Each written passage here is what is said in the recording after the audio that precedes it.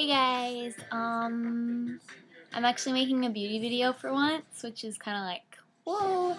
And one thing that you might have noticed is I kind of dyed my hair again. It's semi-permanent though. Um, it's like, what is it, Natural Instincts. I don't remember the brand though, but the color is light brown. It'll fade though. So, I'm going to talk about some of my favorite summer products because summer means you want to go a lot lighter with anything you're putting on your face. So, and a lot of people have been wanting to see a beauty video, so here it is. So the first thing I'm going to talk about is face stuff. Um, okay. So, for something light for most days, I really like the Laura Mercier Tinted Moisturizer. Um, I've got that on right now. It it has really good coverage for a tinted moisturizer, and I really like it. But on its own, I feel like it's a little bit dull on the skin, but that's just me. So I like to mix. I like to mix a lot of things. The Laura Mercier um, tinted moisturizer SPF 20 illuminating. If any type of like face glow product that isn't like pink colored or anything like a neutral color, you can mix it in, and it might be a little bit hard to tell, but it's got a really it's super shimmery. Like I got it originally to use on its own, and I realized it's way too pearly for that. But this is really good to get to mix in with anything or just put on your cheeks for like a super pretty glow. So yeah. And an alternative if you want to use a foundation for a little bit more coverage on your face. This has been compared to the NARS Sheer Glow or whatever. This is the Neutrogena Healthy Skin liquid makeup and it's good for your skin and it's really fresh looking. I really like it. And I have mine in nude 40. See here it is. It's just like it's not a pump. And then for concealer, for all over the face, um, I like the Makeup Forever concealer palette. Um, this is number one. It has a very, very light one, which you can see that I haven't really used. Two slightly darker ones. I use this one a lot, and this one, which I use a lot, a lot. This is for the eyes, like a salmon color. It's really good for eye circles. Like, it actually covers them, so it's good and it's, it's gotten really gross and messy. And then the green one, which is really handy, but for some reason I haven't used it as much. But This is amazing. It's high def, so it's pretty hard to see it on your skin, and it lasts pretty well. And I think it's a good value. And then another product, a lot of this stuff is expensive, but it's like really, really works well. Um, this is the Smashbox Halo to Go powder. I don't like to wear powder on my face because it makes my skin look all matte and gross, and I prefer dewy. But this one actually is like looks so nice on your skin. Oh my gosh, it is so pretty. And the mini one, I'll probably get a bigger one eventually once I can save the money. And that's gonna take a long time before I can want to spend sixty dollars on a powder. So it's really good. Um, cheeks. The only blush I've been using recently is the Benetint because it's seriously the prettiest color ever. I do have that on my cheeks right now, but with the lighting it'll probably be hard to see it. But this is the Pocket Pal, and it comes with lip gloss too, which I don't really use. Well, I just put some on.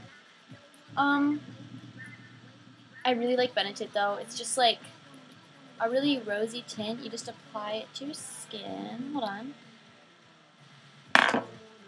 Like so, and blend it in. And you're going to have a really light rosiness which I don't know why I'm showing you because it's probably too hard to see, but um, I like that a lot. And, and I'm getting kind of random. Actually, a face lotion that I like to use for summer is the Clinique Dramatically Different Moisturizing Gel because it moisturizes well and it's not all heavy and it feels so much better to put on your skin than like a regular moisturizer. So this is good. Um, mascaras. Um, my two favorite mascaras, which unfortunately aren't waterproof because I haven't gotten to the point where I'm like swimming every day. So I'm still using regular mascaras, but I really love these ones. Okay. The first one is like my all-time favorite one, which is the Fresh Mascara. The packaging is so cute. I think it's like $24, so it's kind of expensive, but it's the brush is starting to get a little bit icky for me because I've had it for a while. Um, it's very natural looking, and you can build it up to get really long eyelashes. And this also is good if you want to use this and then use a different mascara over it that like curls or something, because this is good with like length and volume and stuff. Not so much curl though, but it's so pretty. I really like it. Then the other one, which is like pretty expensive. Um, it's also pretty new. Like I, I mean, not new, just came out, but I just got it recently. It's the YSL mascara. I think it's just their mascara volume effect. It's in black. Um, this is meant to give you false lashes that look. Um, if you put enough on, which isn't very much, you can get like, yeah, seriously legit fake eyelashes. Um, I've got it on right now, but you probably can't tell so well because I didn't put a lot on. And the lighting's kind of weird from when it's from my window. So, what else? Um, if you want your makeup to last longer, since everything's going to want to melt off in the sun, then I'd recommend looking into the Urban Decay All Nighter Long Lasting Makeup Setting Spray. I still haven't got to use it that much to try it out, and when I have used it, I didn't notice much of a difference, but it's probably just because I did something wrong or I wasn't paying attention enough, so I still need to like look into this more, but the reviews that I've read say it's really good, so I am assuming that this works well, because it's supposed to make your makeup last, like, through everything, which is pretty cool. And, oh, Hoola Bronzer, really good product. Um, it's like the best bronzer ever. I really like it, and it works really well for contouring on your face. And I haven't, I'm not talking about eyeshadow, because I think that if you want to look natural, um, I'm looking at the camera, um, then it's better to not use eyeshadow. So, the last thing I'm going to talk about I only have one of the two, is the, these little, if you can get your hands on the OPI like Shrek nail polish set, it's really pretty. I love the colors. This is a purple one. The set, this one's a blue one, and here's the blue one. They're really teeny and cute, and they're the prettiest colors ever. And that's pretty much it. Um, no, no, no. Wait, no, there's one more thing. It's MAC's lipstick. I don't really wear lipstick that much, but if you're going to wear something, this is absolutely gorgeous. Um, it's Hue Lip Glaze. When I first used it, I thought it was way too um, nude.